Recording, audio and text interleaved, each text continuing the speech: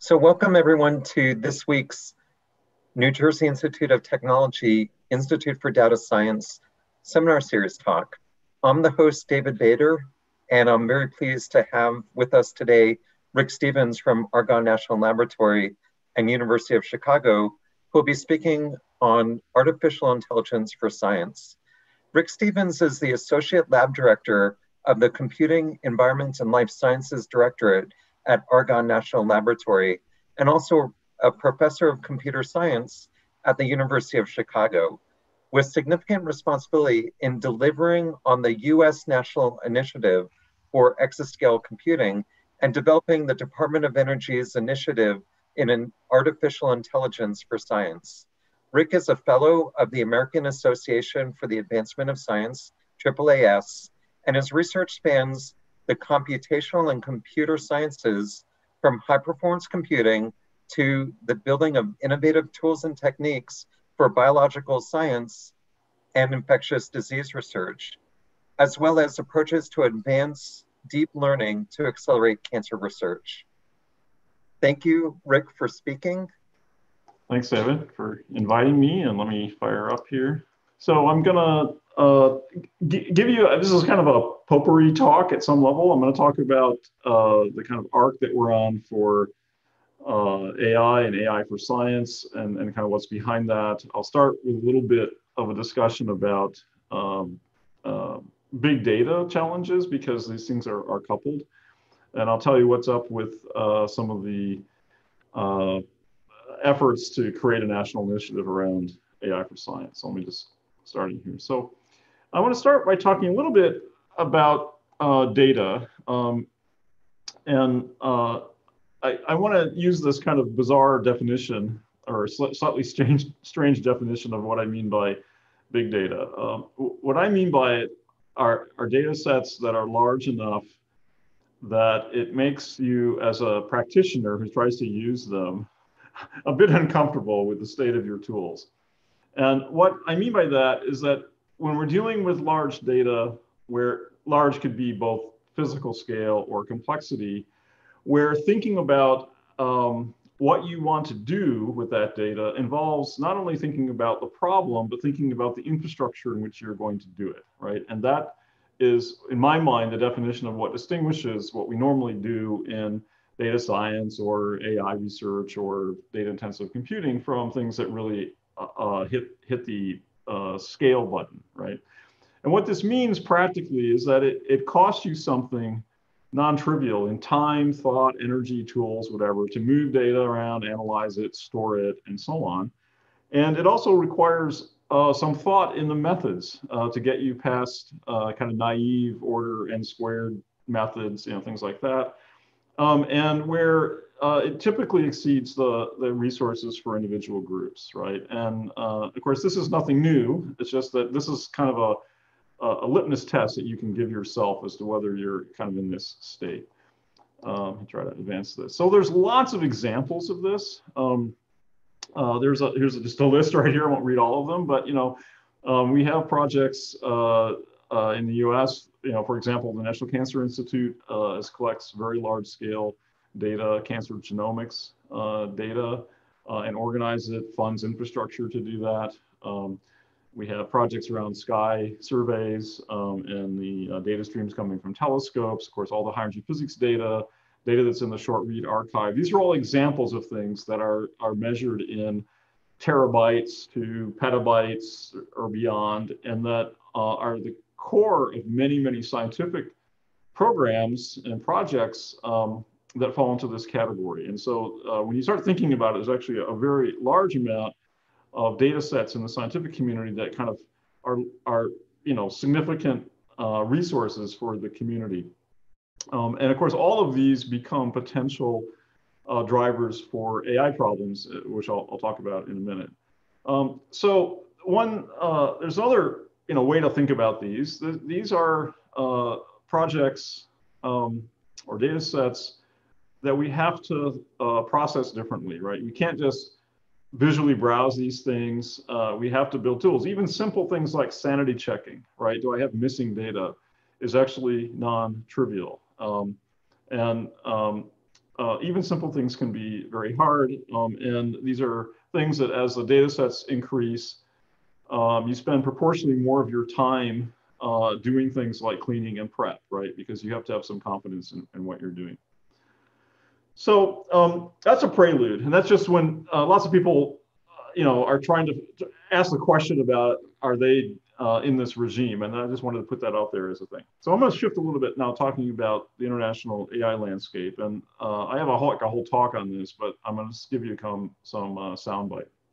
So uh, a few years ago, there was a McKinsey Global Institute study that tried to lay out, uh, all pre-pandemic, right, back when the world was simple, um, you know, what was going to be the potential global impact of, of AI uh, over the next decade.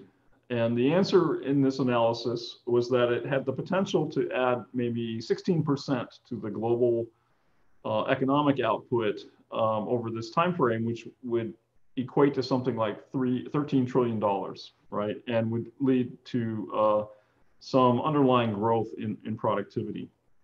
That uh, report uh, coincided with uh, a series of international announcements around where AI uh, was going in, in various countries. Um, and around that time, China uh, put out that they wanted to lead the world in AI by 2030. Putin put out a, a tweet, a series of tweets saying whoever leads AI will rule the world. I mean, the rhetoric was kind of ramped up. But the practical uh, issue is that many countries started working hard on trying to figure out what their national strategies would be for artificial intelligence uh, research and, and deployment and uh, connections between work in AI and the rest of their economy. And here's a partial list. Um, and uh, the US was uh, not really at the front end of this. Uh, in 2019 is when uh, the White House put out a report called the American AI Initiative. It was initially um, uh, launched in February of 2019 with an executive order and some OSTP uh, plans. But you can see that there's other countries on here. China was one of the first movers in, in 2017 with this. But pretty much most of the developing uh, developed world has uh, some kind of AI strategy. Um, this was uh, the document that came out uh, in, in 2019 in the U.S. and it it uh, tried to frame uh, the goals, the national goals, and and that year um, and also in 2020, the annual letter that comes out from from OMB. it's co-signed by the head of OMB and the head of, of OSTP, um, rated uh, AI is the number one research priority for the country for a couple of years. Right now, it, this year, it's actually in the second tier. COVID's, as you might imagine, is number one. Um, but this initiative was aimed at uh, framing an all of government strategy, spanned all the agencies, um, and, and, and made statements about uh, partnering with other like minded countries um, and was really called for prioritizing AI activities high in the agency R&D agendas. Um, and uh, a little bit after that came out, there were a series of um, uh, publications and legislative initiatives uh, that uh, started circulating. Um, one that came out of Stanford um, that was uh, co-authored by Fei-Fei and John uh, Etchemendy arguing for a national vision for AI uh, and a requirement for 120 billion dollars uh, invested, say over 10 years, so 12 billion a year, which is a big, big number. Um, saying that this is probably one of the most important uh, technological uh, trends uh, in the last, you know, 50 years, 100 years, um, and the U.S. needs to uh, get in front of this trend and and this and, and this was subsequently followed up by letters to university presidents basically uh, calling for a national investment in a national ai infrastructure that would provide computing capability to universities. And it was really trying to get uh, research universities to sign on to some kind of uh, initiative uh, that would work with different agencies for doing that. Um, over on the senate side there was a a, uh, a bill uh, discussed uh, $100, $100 million billion dollar bill.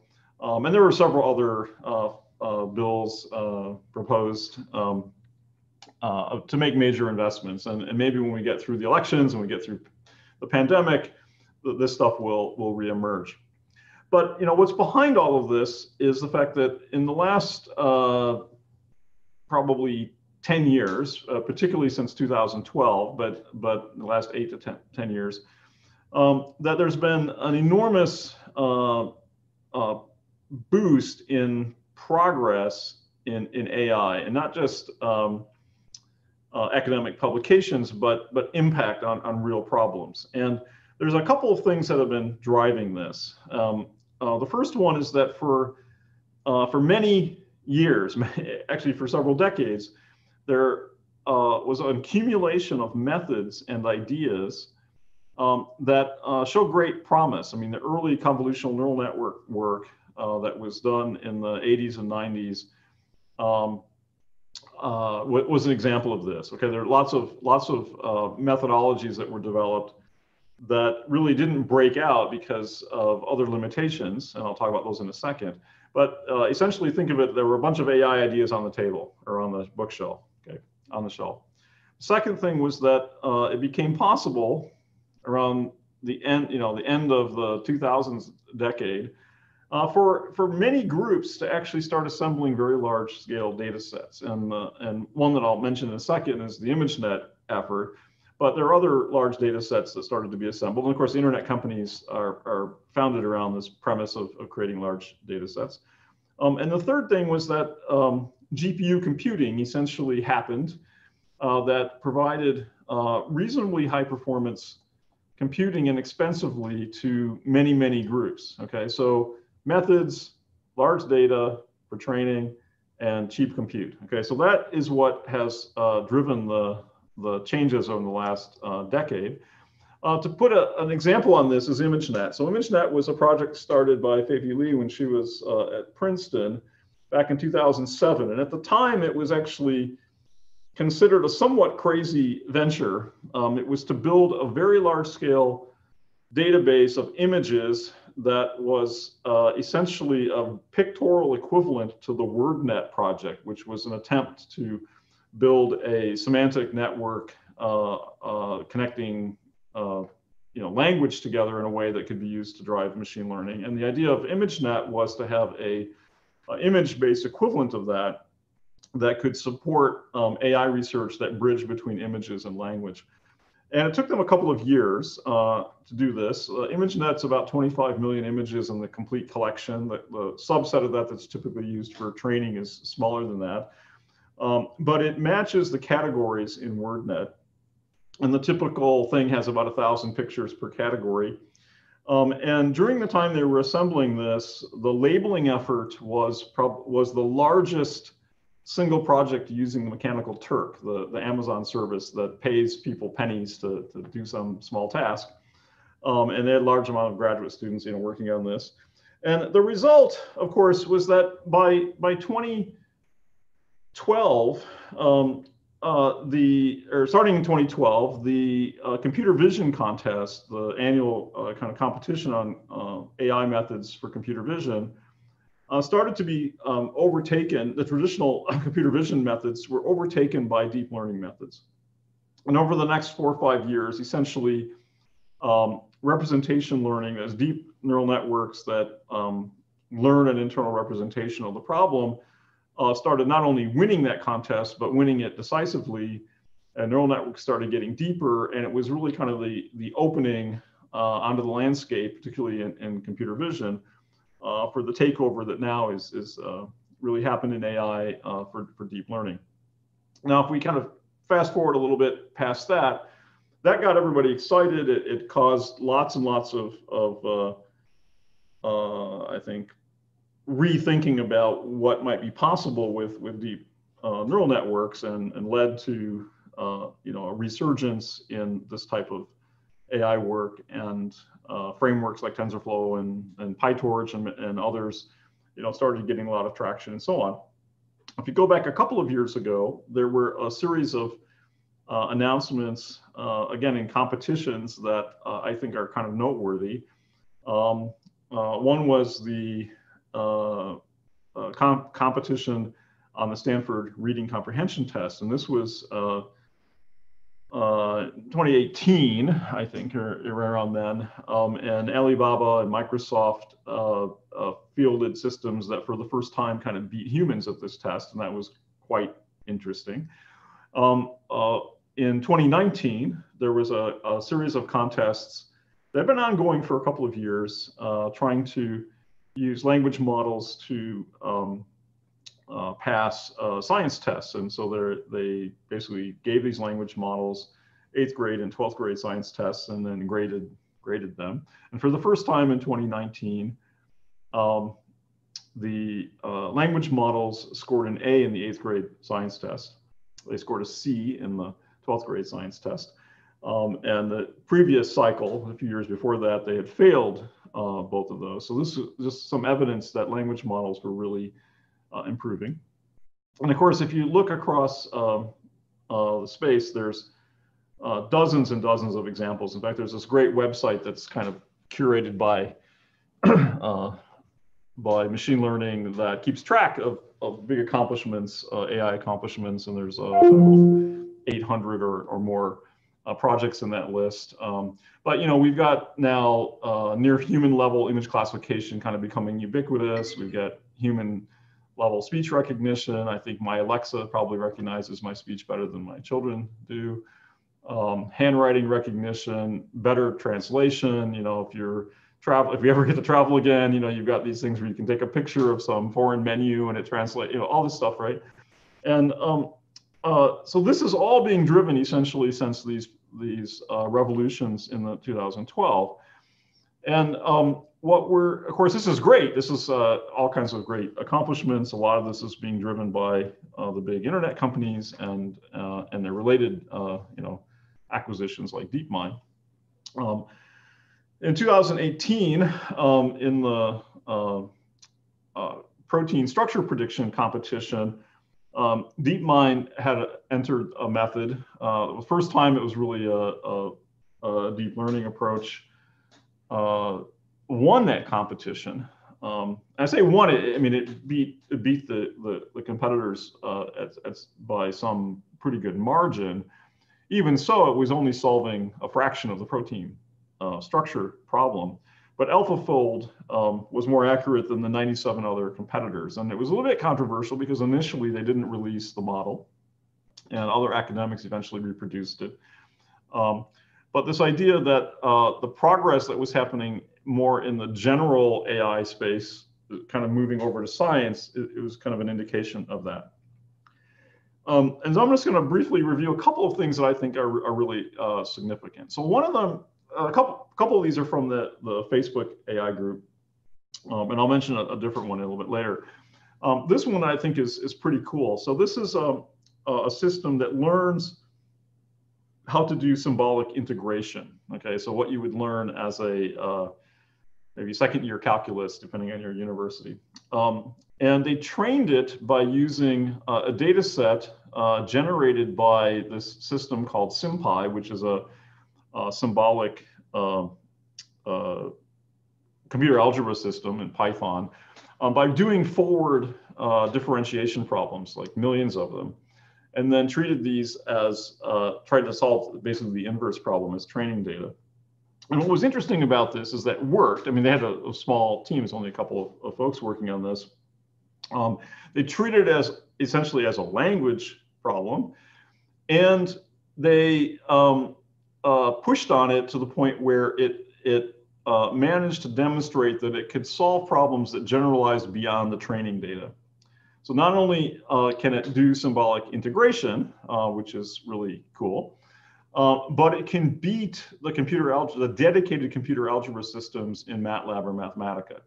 All right, so that that is pretty cool, and it and it's based essentially on language models. Another one um, that's also happened to be from Facebook, just just uh, they're not the only ones working on this, of course, is a system called um, transcoder. And um, this system is, is uh, again, it's, it's using a, a, a, type of neural network model that's called a sequence to sequence translator. So it's like a language model, uh, seek, seek to seek problems, seek SEQ to SEQ. Um, these, uh, that's the name of the, of the model type, um, is used for that, that, natural language translation and other kinds of sequence to sequence uh, translation problems. But what they did with this one is kind of cool. They, they trained it essentially to go code from one programming language into another. And they did this by mining, you know, GitHub uh, for examples, and then essentially had it go from language A to B, and then B back into A. And so they could test to see whether A and A prime were the same as a way of giving it two uh, training hops. And this thing can uh, translate uh, from C++ into Java. It gets about 90% of these functions able to pass uh, unit test. Uh, it can go from Python and C++ and so on. Um, and uh, again, this is just a, a really cool example of, uh, of a technical application.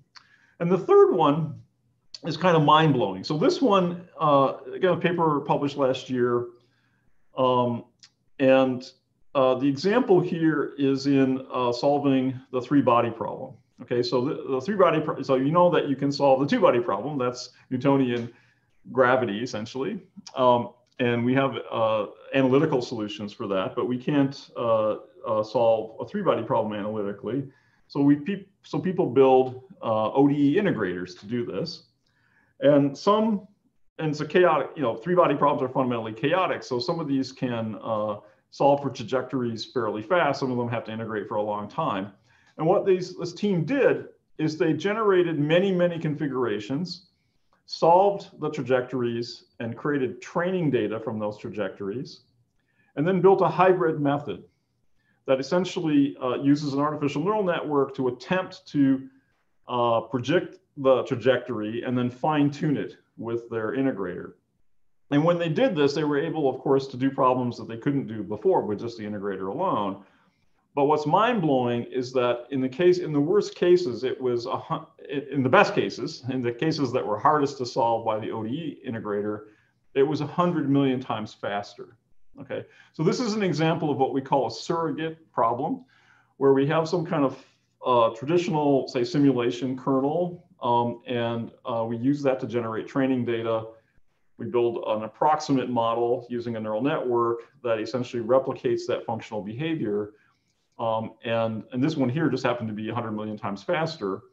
Uh, in our, what we've been working on for the last couple, last bunch of months related to COVID, we've been doing a lot of drug development and we built a similar thing to predict the uh, virtual docking uh, behavior of our biophysics program, and it's 50,000 times faster. So you sense this is not an anomaly. There's actually many examples of this. So let me talk a little bit about this concept of, of AI for science, um, which some of us are, are, would also talk about this as a post exascale roadmap. Um, so in the summer of, uh, it seems like a long, long time ago, but in, uh, basically in the summer of 20, uh, of 20 of 19, 2019, this is this, we're still in 2020, the, the worst possible year ever. Um, we start we held a series of town hall meetings uh, and town hall meetings in DOE mean a certain kind of thing. So these were meetings that had uh, roughly three, 400 people at them. We held four of these, one at Argonne, one at Oak Ridge, one at Berkeley, and then a, a fourth one that was held in Washington, DC. So during these meetings, we, um, uh, they lasted a couple, three days, and we essentially asked the gathered uh, uh, community to consider the, the opportunity for applying large scale AI to problems in science? That was the, the question. Um, we had some plenary talks, gave examples, and then this is me on the stage talking about uh, algebra, I think.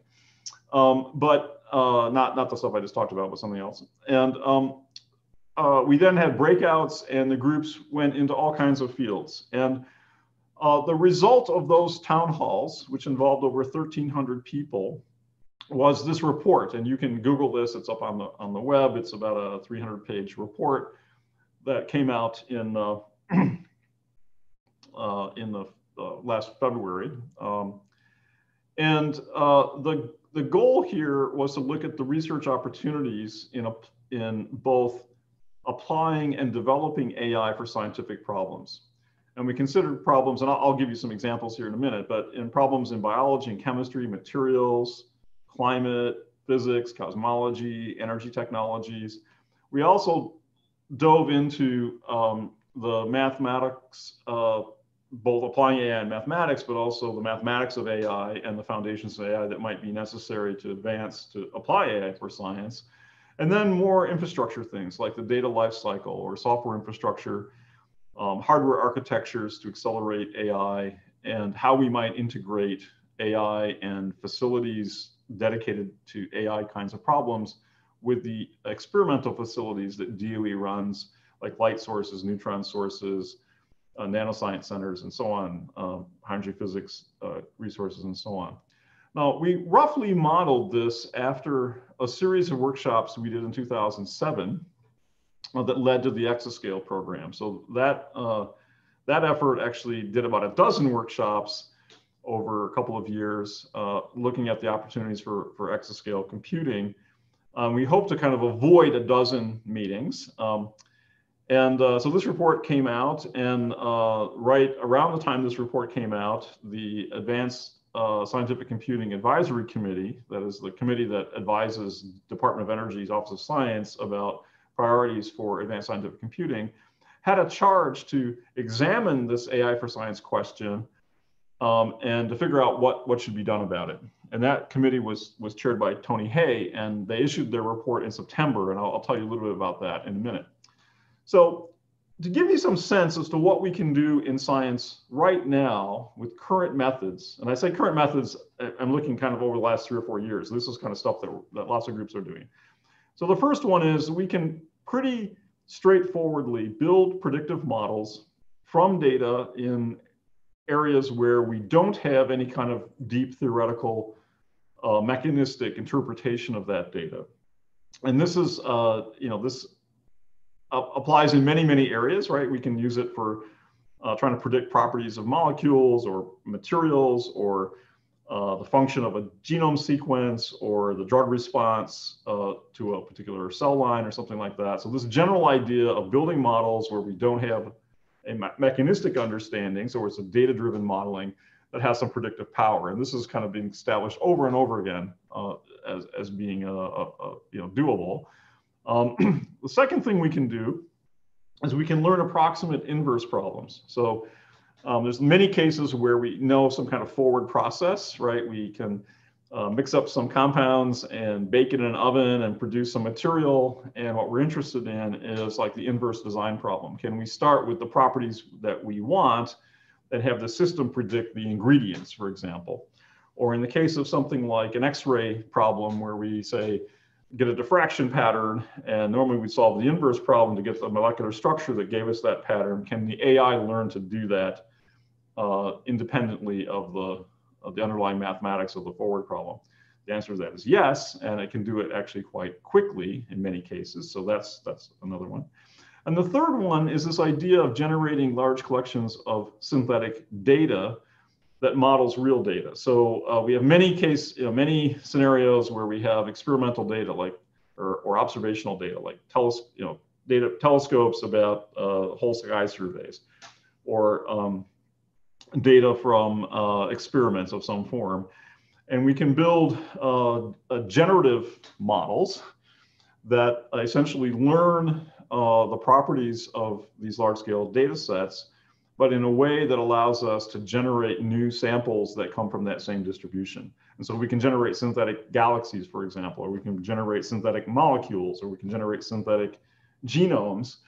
And what this teaches us is how much of the uh, kind of statistical behavior of these objects can we learn from data instances, uh, and we can compare that to the models that actually uh, that that we have um, from those based on first principles, whether it's quantum mechanics or, or gravity or whatever. So those are things that we can do right now, and groups are lots of groups are doing that. If we think forward a bit, uh, kind of in the abstract sense, what do we want to do going forward? Well, one big class of problems is that we'd like to have the ability to combine symbolic uh, understanding of something, say theoretical understanding, what you might get from a textbook, say, or from logic equations with data and actually improve the predictions that we would make from data alone by somehow leveraging what the machine can learn from symbolic information. Um, we don't have good ways to do that yet, but this is uh, going to be required. I mean, this is what people do at some level, and this is a, a, a good uh, kind of research goal. There's probably lots and lots of uh, PhD topic uh, topics in this question uh, in AI. Well, the second one is we want to automate scientific discovery in a kind of an end-to-end fashion where we would uh, have some goal and, and train an AI that knows how to drive robots that can do experiments and can, uh, and can analyze the data from those experiments, learn from that and plan the next experiment. So this kind of end-to-end automated science. This is a, we sometimes call this self-driving labs or autonomous laboratories, but robot scientists, that's another uh, kind of overarching uh, big goal. And there's a number of groups around the world working on that. And the third one is, is really, uh, I think, a long-term goal. We would really like to have help in pushing forward on theory. Um, so if we look at physics, where we have, say, the standard model of physics, we know the standard model of physics is incomplete. We know there are, are you know, many, many proposals from the physics community uh, that try to extend it in some way, but we, we'd really love to have a system that can look at all of the physics data, all the physics experiments, and somehow make suggestions of, say, ways to extend uh, something like uh, the standard model. Um, and that's, we don't know how to do that yet, but, but that's certainly uh, kind of a stretch goal. Now, one thing that uh, I want to emphasize here, especially for people who are thinking this is cool, we want to get into it somehow, I say, well, so here's something to keep in mind. If you want to make progress on some AI in some topic, you have to get yourself completely immersed in the data of that topic.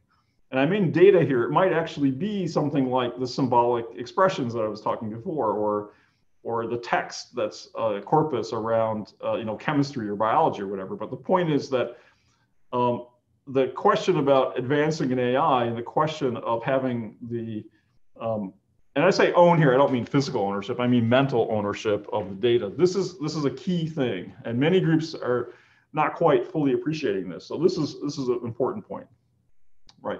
So let me give you um, a little bit on, on the, a recent uh, AI model that many of you have heard about. Um, earlier this year, uh, Open AI released uh, a model, or they kind of released a model uh, called GPT-3, this uh, general purpose uh, transformer model. This is a language model. It's a very powerful language model. There were two companion papers that I've been talking to my students a lot about lately.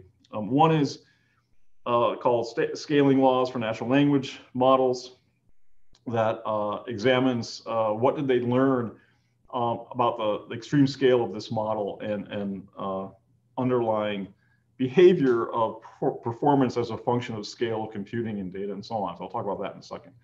The other one is this notion that uh, language models, particularly these really big ones, are what they call few shot learners. That is, um, systems that can learn from very small numbers of examples. Okay, so these are, these are just two papers I think are very exciting. They're not my work or anything.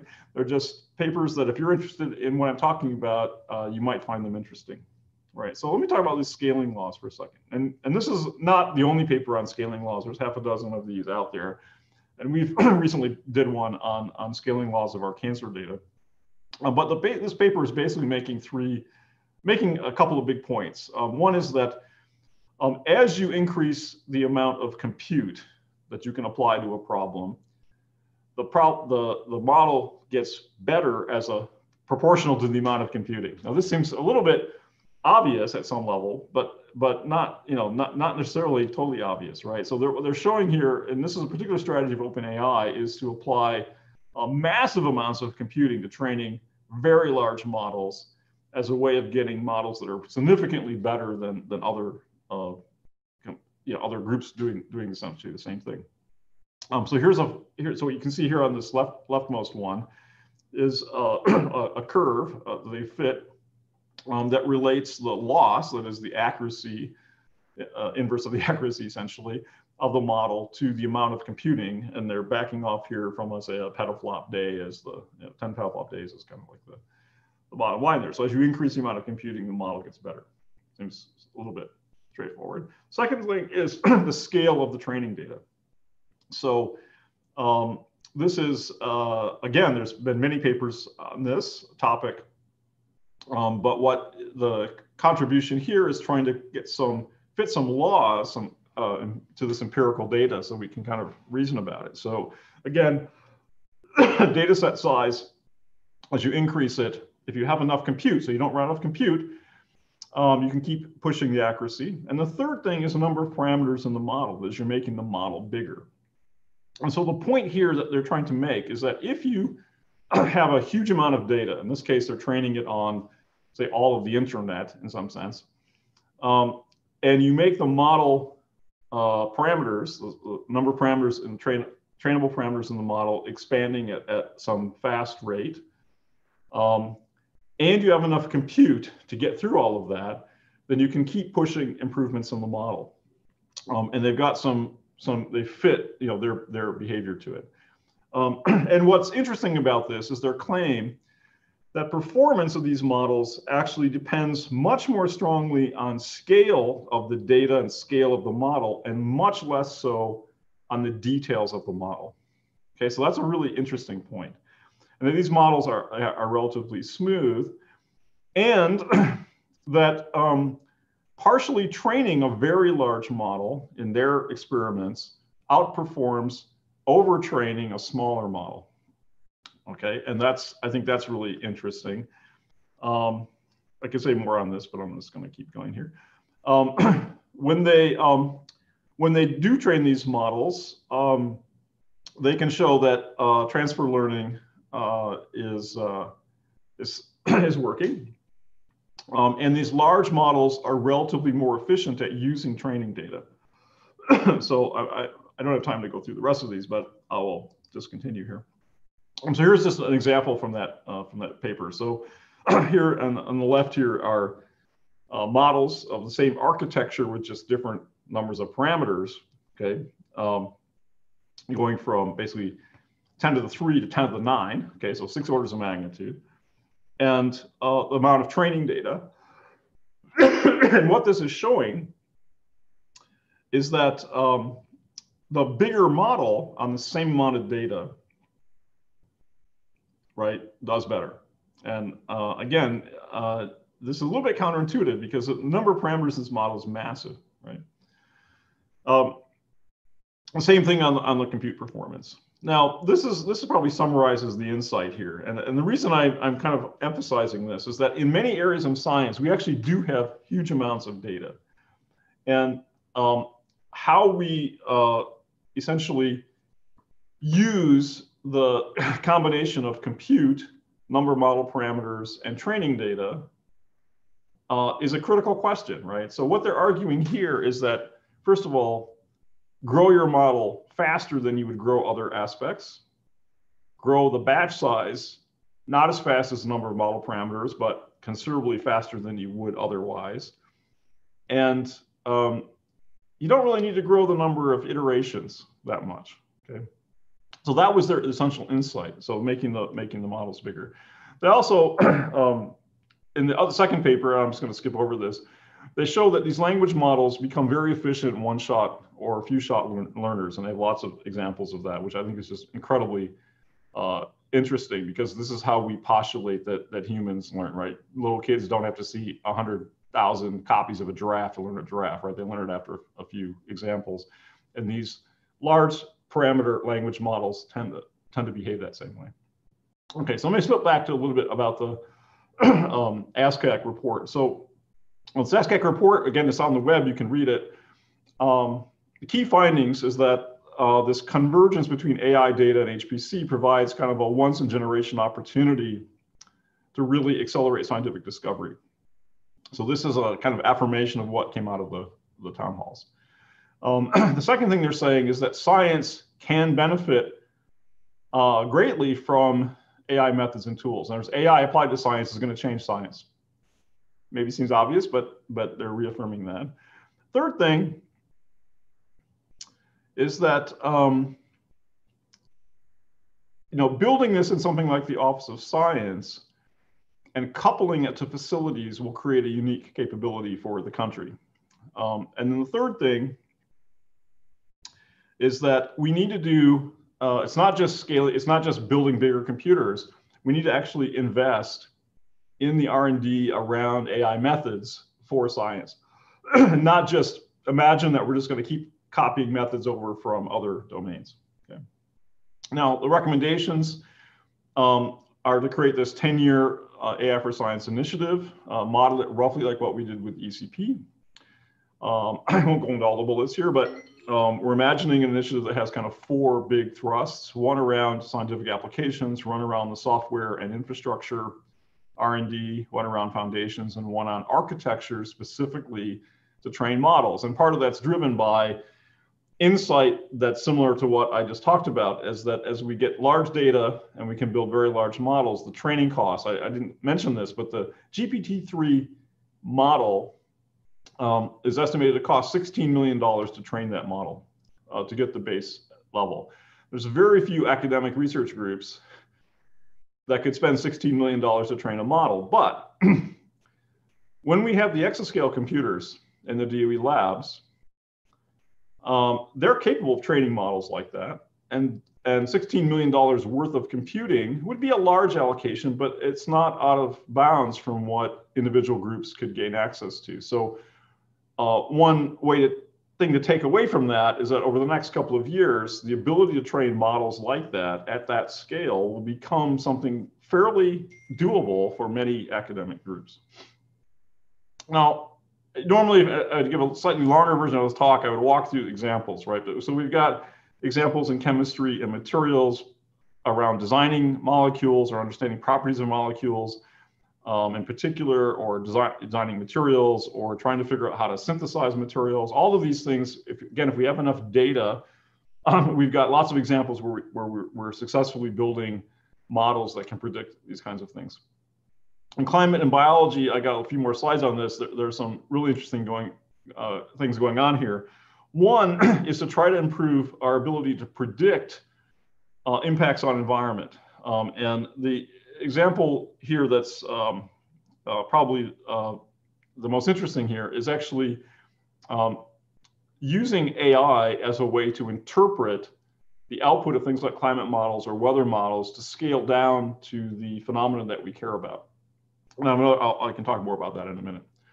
In chemistry or in biology, in particular, um, in synthetic biology, what we're interested in actually is generative models that can give us new biological pathways, can design proteins, can design pathways, can design ultimately uh, genome sequences that might um, lead to uh, novel functions. Um, so that's quite interesting. We have a, a, plan laid out for doing that. Many applications in high energy physics. Another general space is this coupling between high performance computing and AI. Um, and again, I, I, there's you know, I'll send you these slides. So you can, you know, play. I'm happy to talk about this at some other time. But, um, you know, from steering of simulations to embedding machine learning surrogates in simulations to be alternative ways of evaluating functions, to combining simulation AI, uh, simulation to act as, as a, a training uh, vehicle uh, for AI. Um, there's really kind of three classes of problems that we think are driving the convergence between high performance computing and AI. One of them is using very sophisticated simulations as training environments for AI. This is particularly useful in using reinforcement learning um, or, or similar methods. Uh, it's used in training autonomous vehicles. It's used in training you know, aircraft, robots, and so on. So you create these gymnasiums that can simulate physics, like they're like game physics environments, and then the AI become entities inside that world and they learn how to, how to do things. That's one. That couples AI and simulation. Second one, which I already mentioned, this idea of surrogates, um, and that there's many areas where that's been applied, and achieving thousands, uh, uh, thousand x or greater speed up, like the 50,000 x I mentioned in uh, drug uh, screening. This last one is really cool. So this idea is augmenting PDE simulations with deep learning, um, such that you learn a correction, an uh, essentially a correction term that accounts for unmodeled physics. And we're applying this in quantum chemistry, um, but I think it can be applied in fluid dynamics and be applied in lots of places. And that's what this equation here on the bottom represents, that you learn essentially this compensatory term. Um, in the climate, I had the slide out of order, but you know, in the climate space, um, one thing that we're trying to do is say is identify all the places where AI can uh, add value to climate computation. So as surrogates to accelerate simulations of climate so you can do longer simulations, or as ways of doing scale uh, bridging or interpreting the output of climate models in the context of impact uh, in precipitation or, or ecosystems, or translating what we see in remote sensing uh, satellites into inputs uh, for climate models or process models. So there's many areas, probably dozens of ways in which AI can be used in climate, and we think this is going to be a big area over the next uh, uh, five to 10 years. um, the centers that run these uh, big computers at Argonne and Oak Ridge and at NERSC are really trying to expand outside of traditional simulation to include data intensive computing and machine learning. Um, and so you go to those websites you or in their sites, you'll, you'll see things along that. At Argonne, we have this early science program for our Aurora machine that is funding development of uh, oh, a dozen or so projects that go beyond traditional simulation um, that are uh, pushing a variety of data science methods uh, onto these hardwares. Um, as I mentioned before, over the next uh, three years, there's going to be three exascale machines deployed deployed in the U.S. Uh, one at Argonne, one at Oak Ridge, and one at Livermore. Um, the two uh, op open ones, Argonne and Oak Ridge, are will be available, of course. Um, these are heavily GPU-based machines that will uh, be excellent for simulation and machine learning. And one last thing I want to kind of leave you with is that we're very interested in this idea of AI driven experimental science.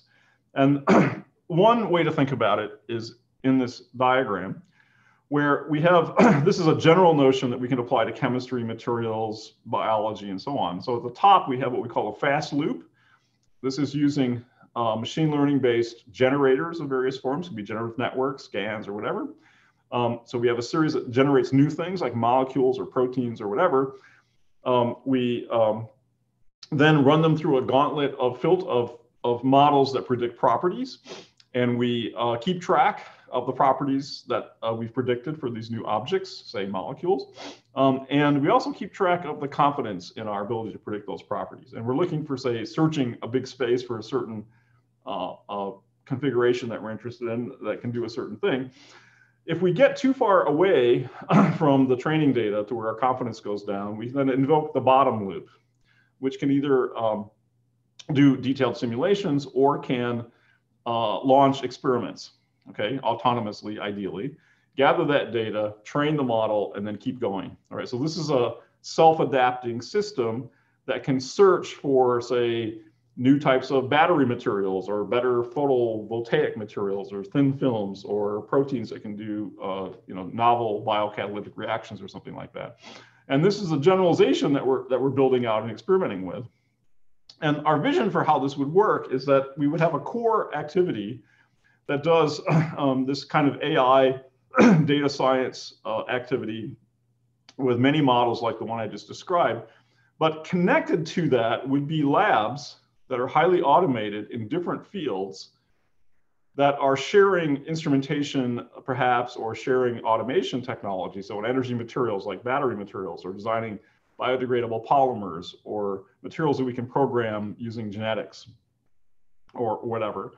Um, and that we would try to move towards a general design capability. In other words, that loop that I showed you is initially always specific to a given problem right? But ultimately, we want to learn general principles, uh, much like these, these uh, general language models that kind of generalize across domains. And we believe this kind of environment could do that. Um, we, there's other groups, of course, thinking about this. There's an example from uh, Toronto group that's doing this. They've got a system focusing on thin films. They also call it self-driving labs. We, we like that term. Um, where they have a loop, takes about 21 minutes to go through the loop. Um, the, they have a system they call ChemOS that kind of does this optimization slash AI component. It plans an experiment, synthesizes the material, tests the material, learns from it, and makes the next move. So this is a kind of a baby example of that. We're collaborating with a lab out in the Bay Area called Emerald Cloud Lab that's uh, building a, uh, a cloud-based biology lab. So you talk to this lab by code. Um, you don't have to talk to people you code against an API and it does experiments for you. So this is a way of offloading experiments, say, to a remote facility.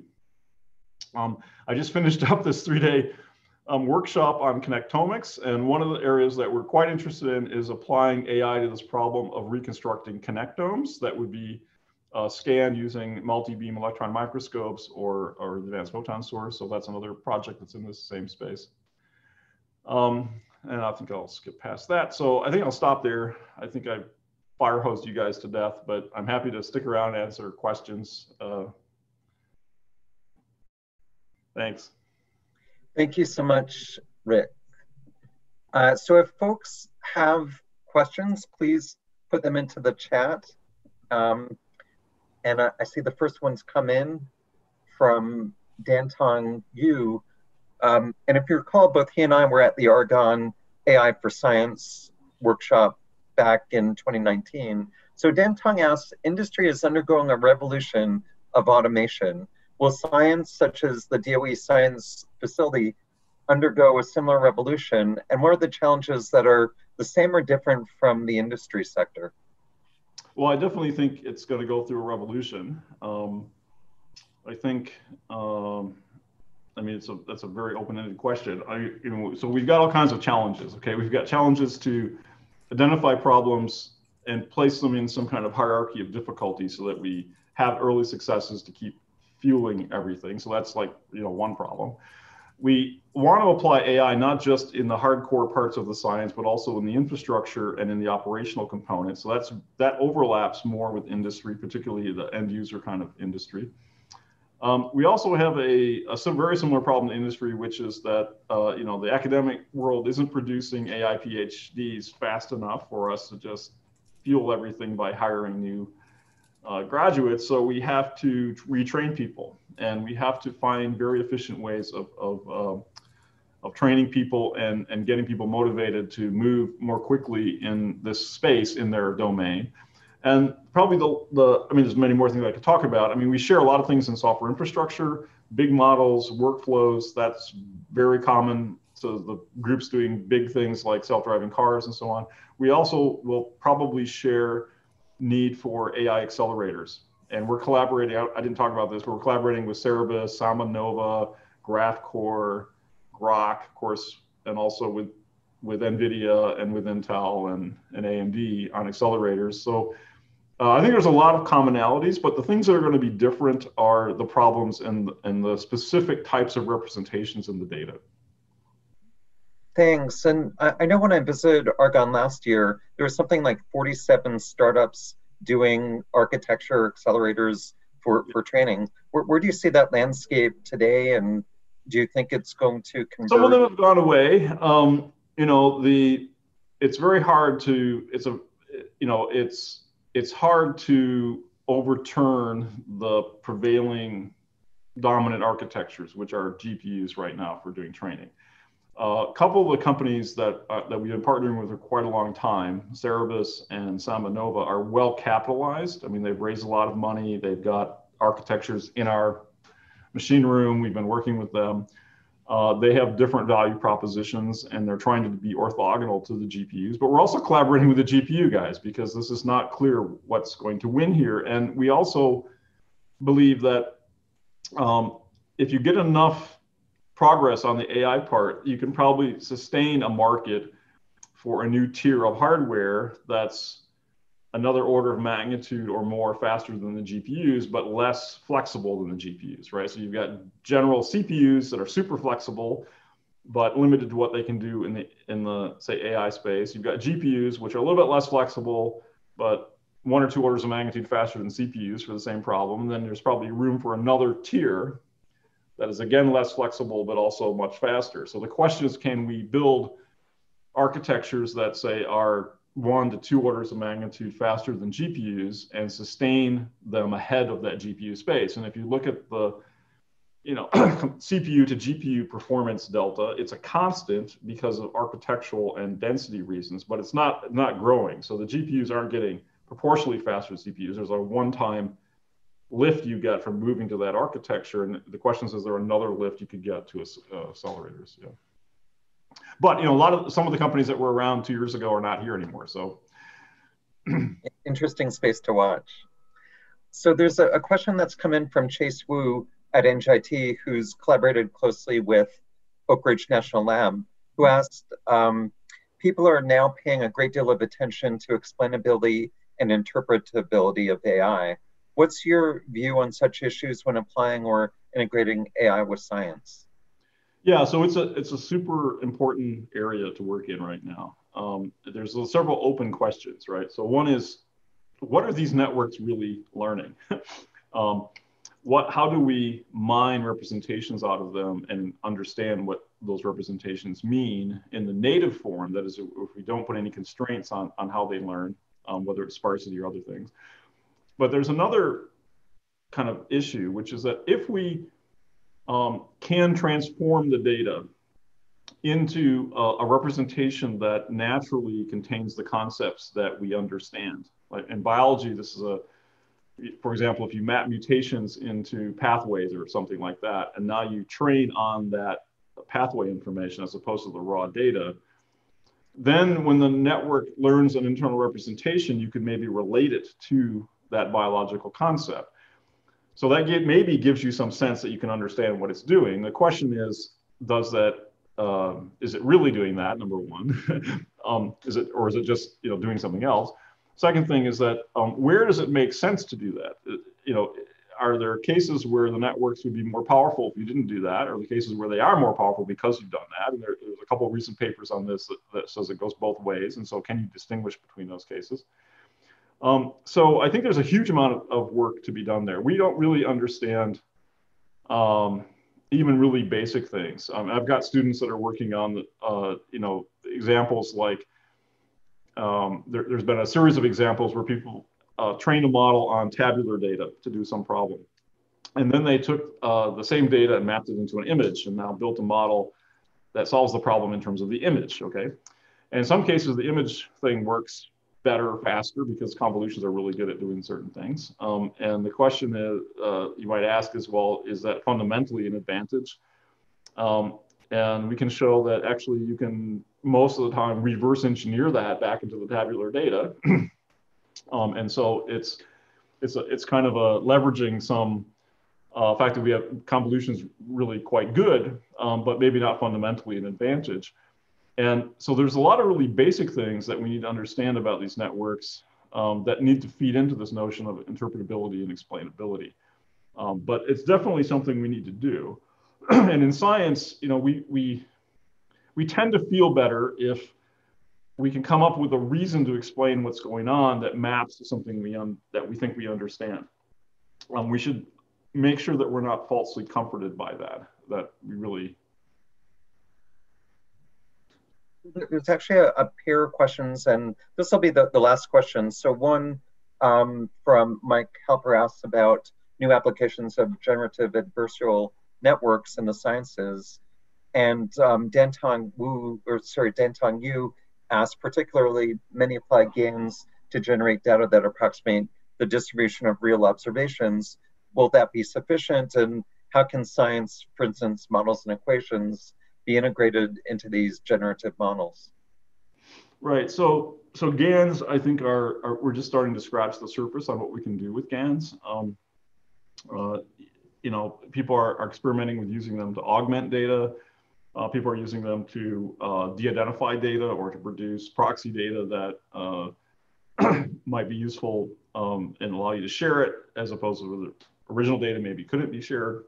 Um, there's cases where we want to explore um, how much of the physics is actually retained in uh, generated data uh, so there's many, many questions, and, and GANs actually are, a good way to search uh, certain search spaces, perhaps.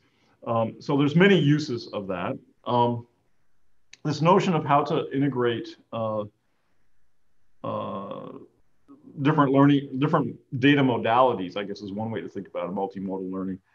I think there's are still wide open spaces here. Um, we've got some projects where we're trying to integrate uh, transformer type text-based models with uh, structured data models and trying to find ways where uh, internal representations that you learn on things like text can be somehow leveraged by the model that's also trying to learn uh, uh, something from from structured data. And um, we think that there's, I mean, there's been, you know, lots of experiments in other fields, particularly in more general AI work, where people use things like gated networks to do uh, multimodal learning um, and uh, or multitask learning, depending on, on, on the details.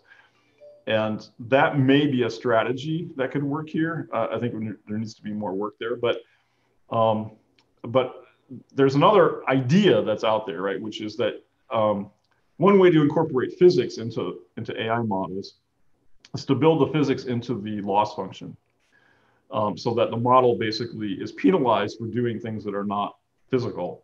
So conservation laws is a good example of this. Um, and that I, I kind of I tend to call that uh, guide guardrails. It, it kind of creates it's like bowling at the bowling alley the guardrails. So, so it's kind of keeping you inside a, an area, but it doesn't necessarily mean the network is learning the fundamental idea, the concept behind that, right? It's just kind of constrained to stay in that space. It's it's a difference between like coloring in the lines and coloring without the color book, right? Without the coloring book. And so, uh, you know, these are two very different things, right? Teaching somebody how to draw is very different than, than teaching them how to color inside the lines. And um, what we want is to teach our networks how to draw, not just color inside the lines. Yeah. Thank you. Thank you. There's a, a lot of other great questions, but I, I think we're out of time for this week. I really appreciate you taking this time uh, I know everyone's looking forward to checking the news and seeing what's happening in the country today. So thank you again, Rick, for speaking. Okay. Thanks, David. I, I really, you know, it, it'll be great post pandemic when we can actually get together and, and hang out. And I'm really looking forward to that and meeting all your crew at, at uh, New Jersey Institute of Technology. So um, I appreciate the opportunity and uh, cheers. Thank you. Take care.